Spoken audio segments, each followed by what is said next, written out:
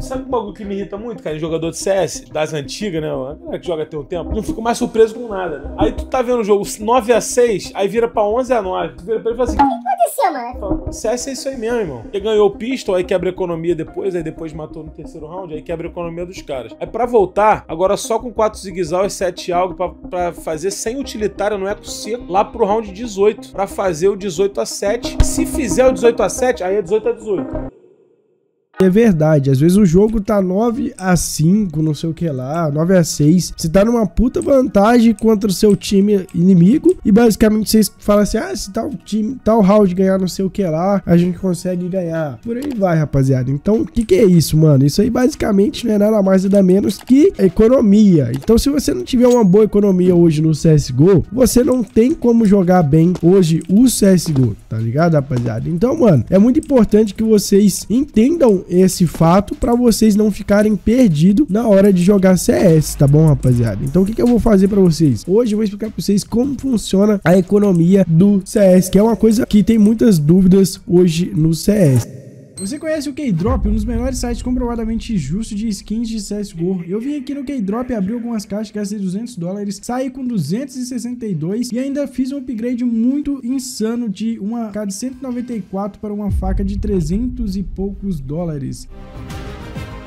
Agora, se você quiser fazer o mesmo, utilize o promo code DNXCSGO e ganhe 10% de bônus no seu depósito. Keydrop.com. Já entrei aqui numa partida, tá vendo? Ó, início de jogo, velho. Início de jogo total, galera. Ó, fiz aqui, comprei uma um colete e pronto. Só isso que você precisa, mano. Tem muita gente que quer cismar comprar Deagle, Glock. Mano, isso não vinga, tá, rapaziada? Essa é a realidade. Primeira coisa, comprei o colete bonitinho, tá bom? Tranquilo. Não tem problema você querer comprar é, P2000 e uma Bang, essas coisas. Mas isso é coisa coisa de muito nerd, tá ligado? Você fazer alguma jogada, coisa do tipo. O interessante, o mais certo também, é o que você compra é, uma, um colete. Porque, tipo assim, galera, às vezes pode dar certo, que é o seguinte: como você não tem na, nada na cabeça, você dando um tiro na cabeça já mata a pessoa. Beleza. Mas tem o fato de que tem gente que chega tirando no seu pé. Vai chegar tirando no seu pé aqui, ó. E você, como tá sem colete, você vai ser morto muito fácil, mano. Então, entendeu? Eu acho que não convém muito às vezes. Às vezes dá bom,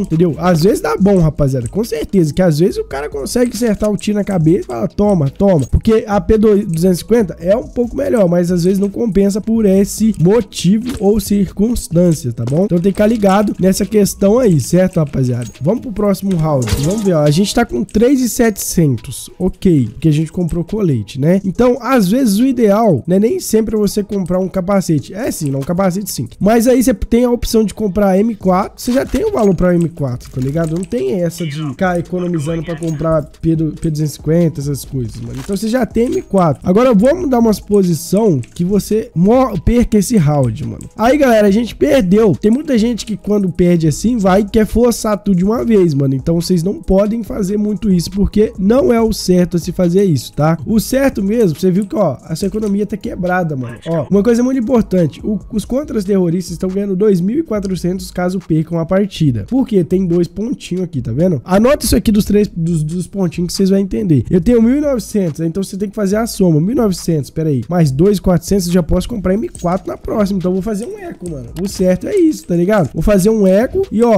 vou matar esse cara aqui e vou ganhar um saldo top, né, mano? Olha lá, ó. Ganhei um saldo top. Se você matasse, você ganhava mais dinheiro, né? Agora, se você perdesse, você basicamente ganhava um pouco menos, mas mesmo perdendo, você conseguiria sim tá pegando uma M4 ou algo do tipo, tá ligado, galera? Então, mano, o que vocês têm que ficar ligado, o que, que eu vou passar pra vocês nesse vídeo, já não vou nem ficar falando muita coisa não, porque eu não quero enrolação pra vocês não, eu quero que vocês joguem bem. Então, por isso que eu peço primeiro pra vocês se inscreverem aqui no canal e assistir a playlist de CSGO Dicas pra vocês e melhorando mais no CS. Esse bot tá demais, jogando granada, mano. Tá Como vocês podem ver aqui, rapaziada, aqui a gente temos nada mais nada menos que a tabela de pontos. Ó, um, dois, três, quatro. Tem quatro tracinhos aqui. E quando tá zerado assim, mano, você tá com sem dinheiro nenhum, rapaziada. Então não tem problema você forçar, entendeu? Senão você pode forçar. Aí da partir daí, você vai, eu vou ganhar mais um bônus, entendeu? Eu vou ganhar um ponto. E quanto mais pontos eu tiver, mais eu vou ganhar. E o bot plantou, a bônus vai ganhar de mim. Olha que pilantra, mano. Vou lá defusar aqui esse cara. Ah!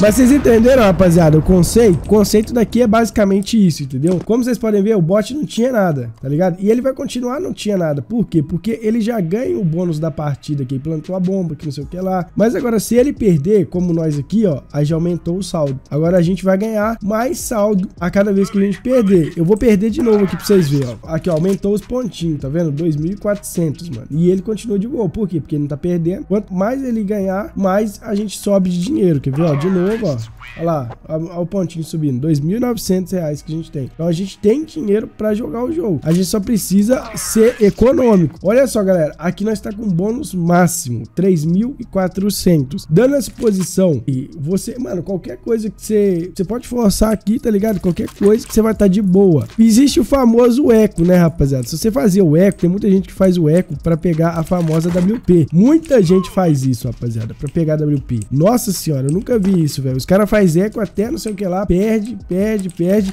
só pra pegar a famosa AWP, tá ligado? Aí, galera, ó, agora eu vou mostrar pra vocês a gente ganhando a partida, tá vendo? Ó, vamos lá, vamos caçar esse pilantra aqui. Esse aqui foi pra lá. Olha, cadê ele? Ele tá pra cima. Ó, ó, o bot sumiu, irmão. Ó.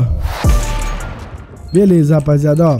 Dando posição, ó, ó quanto que eu tô ganhando. E olha como é que vai abaixar esses pontinhos agora, rapaziada, ó. Já até sumiu, rapaziada. Eu acho que a gente vai virar de lado, mano. É. Mas basicamente some, tá ligado? Some todo esse valor, porque resumidamente, né? Aí, ó, trocamos de lado. Aí começa todos os dois, ambos times com dois tracinhos. Mas resumidamente é isso, entendeu, rapaziada? Se você fazer uma boa economia, ó, o básico pra vocês entenderem. Força no primeiro round, ok. Colete, né? Força no coletezinho depois vai jogando. Se você ganhar, você pode comprar M4. Se você perder, você faz é. Pronto, simples fácil de entender. Ah, Danny, eu ganhei o round de novo. Aí você só continua fazendo economia. Não troca de arma. Danny, eu peguei uma, eu peguei uma arma muito, peguei uma MP9. Não fosse a M4 como você me disse. Então beleza, então você tem saldo positivo com isso, tá ligado? Você tem saldo positivo para fazer as outras coisas da partida, entendeu? Você só não troca de arma, continua com a mesma arma, parará, parará. E por aí vai, você vai fazendo a sua economia gerar. Sempre olhando o seu dinheiro, porque isso é o básico. Também tomar muito cuidado cuidado com aqueles safadinhos de plantões que gostam de roubar basicamente o nosso drop. Como roubar nosso drop? Tipo assim, às vezes o cara tá cheio de dinheiro, às vezes quer pedir um dropa aí, dropa aí, eu não sei quem, que você tá com muito dinheiro, que não sei o que lá, que não sei o que é outro, que não sei o que é outro. Isso aí acaba prejudicando toda a economia do time, porque às vezes o cara, tipo, entendeu? Não, não vai ter dinheiro no próximo round pra dropar se perder, ele vai ter dinheiro só pra ele. Então o que, que vai acontecer? É só ele que vai comprar pra ele, entendeu? Tipo isso. Resumidamente, galera, meu ensinamento sim encerra por aqui. Eu espero que vocês tenham gostado. Eu acho que foi algo legal que eu trouxe para vocês aqui, né, rapaziada? Eu, eu gostei particularmente muito, mas espero que isso te ajude de fato, certo? Porque foi algo que é importante para vocês saberem como que funciona, certo? E é isso aí, rapaziada. Espero que vocês tenham gostado. Se você gostou, não se esqueça de se inscrever aqui no canal. É muito importante. Deixar o like, tá bom, rapaziada? Que é mais importante ainda vocês deixarem um like e se inscrever aqui no canal, tá bom? E eu vou ficando por aqui. Um grande abraço. Valeu, falou e fui!